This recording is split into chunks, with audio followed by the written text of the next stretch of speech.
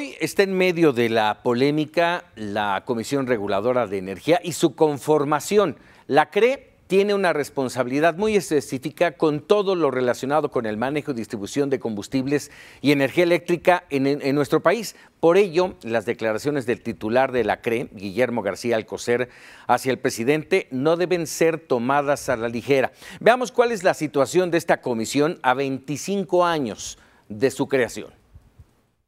La Comisión Reguladora de Energía es una dependencia federal con carácter de órgano regulador autónomo, que tiene la facultad de lograr la disponibilidad de energéticos para el país con calidad y precios competitivos. Entre sus competencias se encuentran la regulación del transporte, almacenamiento, distribución y comercialización del petróleo y sus derivados, así como el gas, los bioenergéticos y la electricidad. Este organismo surgió en 1994, pero con la reforma energética del 2013 cobró un nuevo impulso y de la mano de la Comisión Nacional de Hidrocarburos y la Agencia de Seguridad, Energía y Ambiente pone orden al sector energético del país. Los conflictos con el nuevo gobierno iniciaron en noviembre pasado, cuando Manuel Barlet, entonces futuro titular de la Comisión Federal de Electricidad, urgió a la CRE a revelar las fórmulas para el cálculo de tarifas eléctricas para el servicio de electricidad y culpó a este de las altas tarifas, mientras que Rocío Nale pidió al presidente de la CRE, Guillermo García, su renuncia, misma que el funcionario se negó a presentar y que fue respaldada por organismos empresariales y de la sociedad civil. Luego, el Congreso redujo 30% del presupuesto del órgano regulador, lo que obligó a dar de baja al menos un tercio de su personal.